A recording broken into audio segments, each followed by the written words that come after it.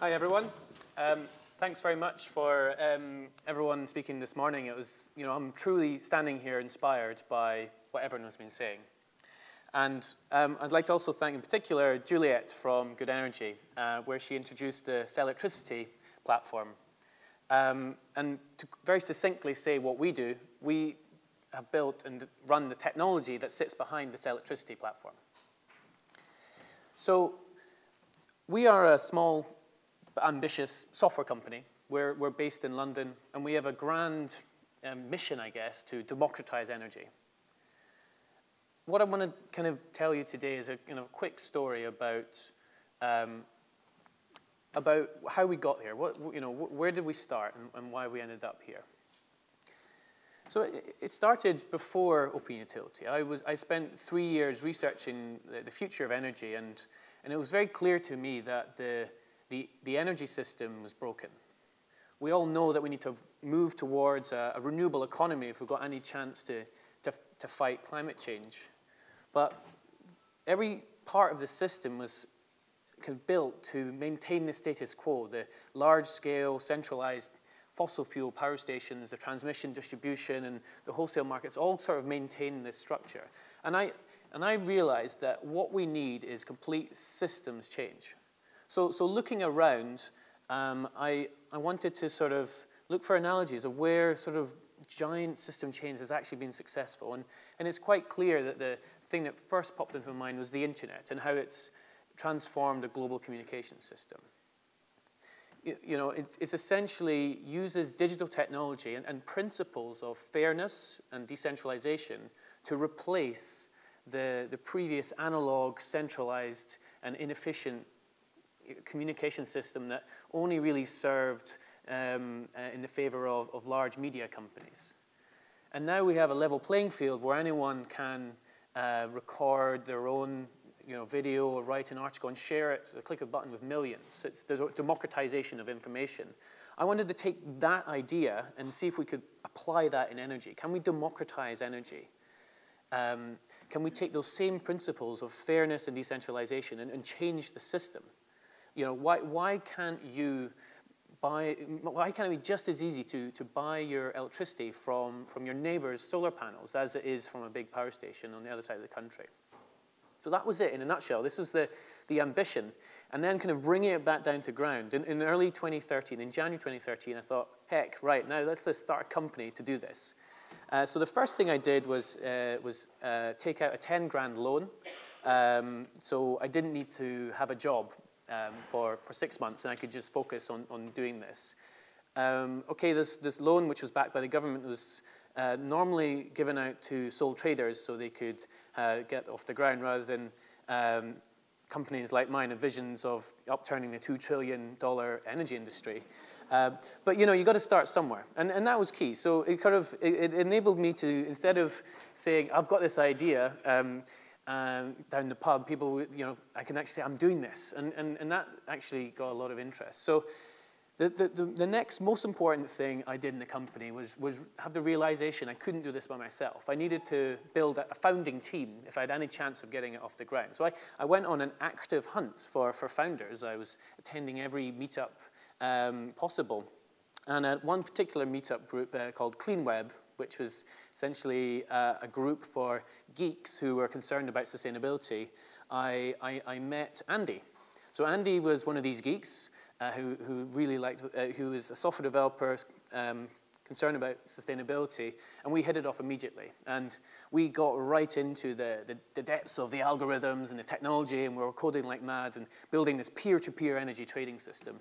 And it was you know, one day early on, we kind of looked at each other and went, looking down at these you know, lines of code and saying, I think we're building this for machines and, and perhaps uh, engineers, but not really humans. Um, you, know, the, you know, who's going to use this? So we realized at that point we needed another co-founder, someone who uh, understood design. So Andy had worked at a previous digital startup with, with Alice. Alice was a designer. Um, so we went round to her house and Andy and I went excitedly into the Internet of Energy and lines of code, and uh, Alice kind of went, stop. You know, um, she took out a blank piece of paper and drew a, a, human in the middle and said, right, what does the human do? So that was it. That was the, the founding team complete. Uh, and we've been working together, you know, very well since. So the next thing we started doing was started build these early prototypes of um, this, uh, this online marketplace. And that was when we started to realize um, that the energy sector is really complex. It's full of regulations. It's, it's got these big incumbent players. It's got lots of policy and regulation, thousands of lines of regulations. It's difficult, uh, as Juliet said, to even to start a traditional type company in this space, let alone turn it upside down and change the rule book. So it was that point where we, again, we realized that, that we, we couldn't do it by ourselves. We, we needed to partner with um, organizations that knew how to do this stuff. And we could focus on what we were good at, which is the, the software and, and the, the human-led um, web design. So that is when we, we started the next phase of uh, the company, uh, what I call the utility dating phase, uh, where we, we went around the country and we, we had meetings and spoke with 16 um, utilities from the biggest in the, in the country to the smallest. And most were, uh, you know, they were all quite interested in what we are talking about. They all thought we were a bit mad, and um, you know, they kind of sent us packing. And one company actually um, sent us on a, a, course to understand how the electricity industry worked. So that didn't end up very well. Um, but we didn't give up. We kept, we persevered throughout 13 and 14, and then we had a breakthrough moment. We, we applied for and successfully got uh, grant funding from uh, Department of Energy and Climate Change and co-funded from Nominet Trust, um, a total of half a million pounds, which was a lot of money for us um, at that point. And, and that really, you know, having the backing of the government got the regulator involved, and they were really interested. And then suddenly the utilities, I remember the utilities we spoke to were interested in working with us. So we were in this sort of crazy situation where uh, we had to do a competitive tender to find our, our partner to do a trial. And as, as we know, Good Energy won that tender. And, and the reason is very clear. They were actually the, the, the first company there, that we spoke to.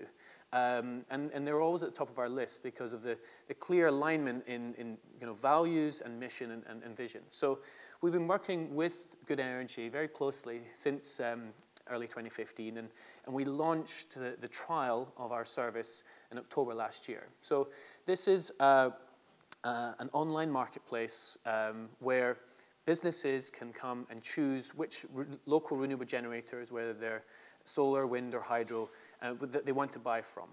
Um, we launched this with some Good Energy's flagship cu customers like the Eden Project and, and National Trust. Uh, and it was a really interesting learning experience. So, you know, we, businesses for the first time could, could log in uh, and actually have some control and transparency in what was going on.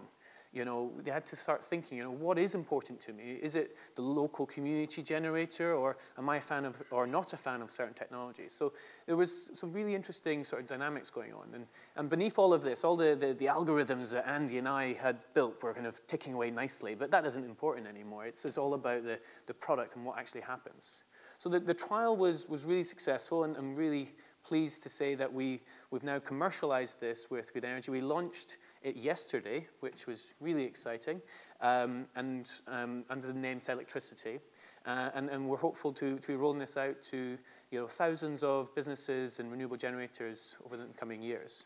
So, um, you know, we, we've definitely made some small steps, you know, towards our vision of a democratized energy system, but, you know, there's, there's a lot more things we need to do to get there.